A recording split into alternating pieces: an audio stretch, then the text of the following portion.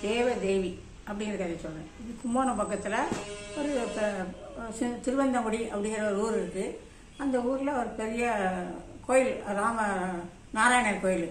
அந்த கோயிலில் பக்கத்தில் பெரிய நந்தவனமும் உண்டு. அதில் ஒருத்தர் இப்போ ஒரு சின்ன வயசுலேருந்து அவங்க அர்ச்சகர் ஒருத்தர் இருப்பார். அவர் திடீர்னு இருந்தோன்னா அவரோட பையன் ஜனம் கோ- நந்தவனத்தில் பூ பறிச்சுட்டு வந்து சா சாமிக்கு பூ கட்டி போட்டு அவரை சாமியை குளிப்பாட்டி எல்லாம் செஞ்சு பூஜைலாம் பண்ணிக்கிட்டு இருக்கான். அவன் ரொம்ப அழகாகவும் தேஜேஸாக இருப்பான்.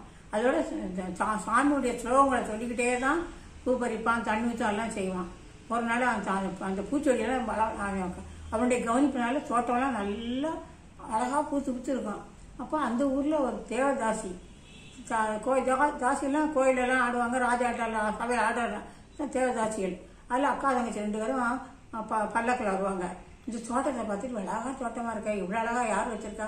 பார்ப்போம் அப்படின்னு இறங்கி வந்து பார்க்கறதுக்குள்ள அந்த அந்த அவர் பேர் விப்ர அவர் பேர் விப்ர நாராயணர் அந்த பூ அந்த பூ அந்த பூ சாமியை கும்பிட்ற பேர் விப்ர நாராயணர் அவர் வந்து பூ பறிச்சுக்கிட்டு இருப்பார். உடனே அந்த தேவதேவிக்கு ஒரு மேலே பா அவர் என்ன அழகாக இருக்கார். ஐயோ இவர் அழகாக பாட்டு வர பாடுறாரு. எங்க நான் இவர் தான் கல்யாணம் பண்ணேன் அப்படின்னு சொல்லி அக்கா எடுத்துருக்கான் ஐயோ அவங்கெல்லாம் கல்யாணமே பண்ணாமல் பிரம்மச்சாரி வந்து தான் கோயிலில் பூஜை பண்ணுவாங்க. நீங்கள் மீனா நீ வந்திருந்தோம். இல்லவே இல்லை. அதுவும் அவர் பெண்கள்லாம் திரும்பிட பார்க்க மாட்டாரு. அதெல்லாம் நான் அவரை எப்படியே மாற்றி காட்டுறேன் பாரு. அப்படி என்ன பண்ணுவா? உடனே போய் தன்னை நான் ஆடை ரங்கத்தை மாற்றிட்டு சன்னியாசி மாதிரி வேஷ ரொம்ப காலக்கிழமை கொண்டையோட போட்டுக்கிட்டு காலத்தில் ஒரு ச காசி மணியை போட்டுக்கிட்டு சன்னியாசி மாதிரி சன்னியாசி கலரில் படையை கட்டிட்டு வந்து அவர் வந்து உட்காந்துருப்பான் இவர் இவர் அவர் பாட்டில் அவரை பார்க்கவே அவர். அவரை பார்க்காம அவர் பாட்டில் தண்ணி ஊற்றிட்டே இருக்கல என்ன பண்ண வேணும்னு ஐயா சாமி சாமி அப்படின்னு கேட்பா பார்த்து பார்ப்பாரு நானும் ரொம்ப கஷ்டமாக நீங்கள் தண்ணி ஊற்றினே நானும் உங்களுக்கு உதவி செய்கிறேன் அப்படிங்க நீங்கள் சொல்லி இல்லைம்மா நானே பாருங்க நானே என்னுடைய வேலையை பார்த்துக்க அப்படிங்கிற. இல்லை நீங்கள் ரொம்ப நல்லவங்களா தெரியுறீங்க அப்படின்னு சொல்லிட்டு இருக்கிறேன் மழை ரொம்ப கொட்டும் கொட்டும் கொட்டும். இவன் வந்து அப்போ என்ன சொல்ல அந்த குடத்தை அவரை வச்சு இந்த குடத்தை தானாக கொண்டு த- தண்ணி கொண்டு அம்மா மழையில் இருக்குமா தண்ணி ஊற்றுறேன் இல்லை மழை விட்டோன்னே மற்ற நீங்கள் ஏன் தண்ணி வச்சிங்க நான் தண்ணி ஊற்ற போயிருந்தப்போ அந்த என்ன பண்ணா த- தண்ணி ஊற்றுற குடம் நனைஞ்சு போயிடுவான் உடனே அவர் ஐயோ நல்லா எல்லாம் சரி உள்ளே வந்து உள்ளே வா. அந்த சண்டை குடி குடி குடிசையில் கூடுவார் உள்ளே வா வந்து துணியை மாற்றிக்க வாங்காரு ஐயோ சுவாமி ஆண்ட என்கிட்ட ஒரு பெரிய ஒரு துணி தானே துணிகள் இல்லைன்னா அவர் தன்னுடைய கால் காவி வேஷ்டியும் துண்டை கொடுத்து போத்திக்கம்மான்னு கொடுப்பாரு. அப்படி போத்திக்கொள்ள அப்படியே அவளுக்கு அவள் என்ன சொல்வா அப்படியே அவரை மயக்கிடுவான் மயக்கி ரெண்டு அங்கேயே அவர் அவர் இது பண்ணுவார் இப்போ. பூஜையை மறந்துடுவார் எல்லாத்தையும் மறந்துடுவார் எப்போ பார்த்தாலும் அந்த தேவ தேவதையே கல்யாணம் கிடப்பாரு அதில் அப்பா சொல்லுவாங்க நம்ம வந்து நம்ம ரெண்டு கல்யாணம் பண்ணிக்கிறேன் கேட்குறப்பா ஐயோ எங்கள் அம்மா விடவே மாட்டான் எங்கள் அம்மா கேட்கணும் அப்படிங்கிறான் அவங்க அம்மா என்ன கேட்ட வச்சுக்கோமா நிறைய பணம் கொண்டு வா. பணம் கொண்டு வந்தால் என் பொண்ணை கல்யாணம் பண்ணலாம். இல்லைன்னா கல்யாணம் பண்ண முடியாது அப்படின்றா. ஆனால் இவருக்கு என்னென்னா அவன் மேலே ரொம்ப மனசு விட்டுருவார் ரொம்ப பைத்தியமாயிடுவார்.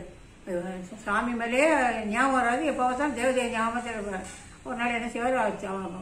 தன்னுடைய அவளுடைய மேலே நினைப்பில் போய் அவர் வீட்டை தட்டுவார் வீட்டில் போய் தட்டுவார். அவங்க அம்மா சொல்லிடுவா அதெல்லாம் பணம் இல்லாமல் என் வீட்டுக்கு வராத. நாங்கள் தா தாசுக்கெல்லாம் தெரியுமில்ல உனக்கு. பணம் இருந்தால் தான் எங்கள் யாரையும் உள்ள விடவும் தெரியுமில்ல அப்போ ஏன் ஏற்றுமா இருந்தால் போய் நிறைய பணம் கொண்டு பொண்ணா பொருளாக கொண்டு அப்படின்னு வேட்டி விட்டுருவான் உடனே இவர் அப்படியே உட்காந்துருப்பார் உட்காந்து அப்போ தான் பெருமாள் நாராயணா எனக்கே அந்த நினைப்பை மகன் இன்னொட்டி இந்த நினைப்பை உண்டாக்குனேன் இந்த மனுஷன் உரம் தானே இந்த ஆசைக்கு நான் அடிவன்னு சொல்லி மெய் அப்படியே ம- மெய்மறந்து அவர் நாராயண கும்பிட்டு அழுகும்போது நாராயணன் என்ன பண்ணுவார்? இவர் ரூபத்தில் இவர் அங்கே வந்து அழுகிட்டு இருக்கல அங்கே தேவதேவி வீட்டில் போய் ஒரு ஆள் காத்து தட்டுறாரு. அவர் இவர் இவர் நாராயணன் விப்ரநாராயண மாதிரியே இருக்கிறாரு. ஒரு பெரிய சங்க சங்கத்தில் செய்த ஒரு பெரிய படி நிறைய பொண்ணு வச்சுக்கிட்டு அம்மா இது வந்து கொடுத்து கொடுக்க சொன்னாங்க.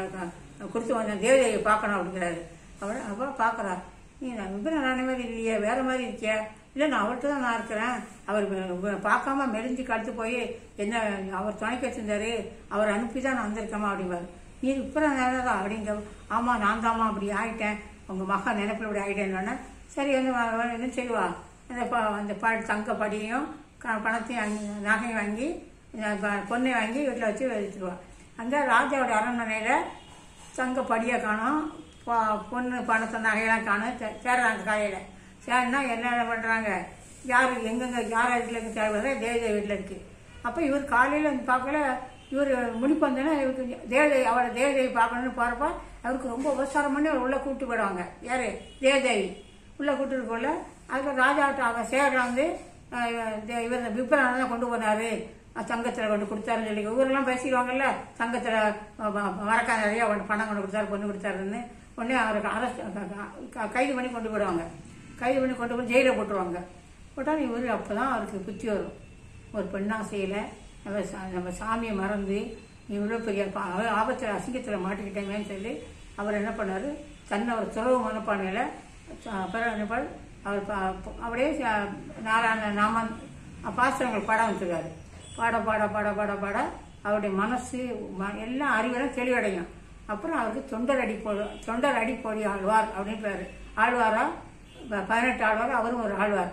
அப்புறம் அவர் ஒரு ஒரு சாமிஜா இருந்து ஒரு தேவதாசியோடைய அடிமையாகி அப்புறம் அந்த பக் இறை பக்தியால் ஆழ்வார் ஆகிட்டார் அவர் அதுவும் சிறந்த பக்திக்கு பக்திமானவர் அதுவும் மக்களுக்கு வந்து ஒரு ஒரு எவ்வளோ தப்பு பண்ணா கூட மனசறிந்து நம்ம தப்பை உணர்ந்து இறைவன் வேண்டுனா இறைவன் தன் நம்மளை ஆட்கொள்வார் அப்படிங்கிறது கதை தான்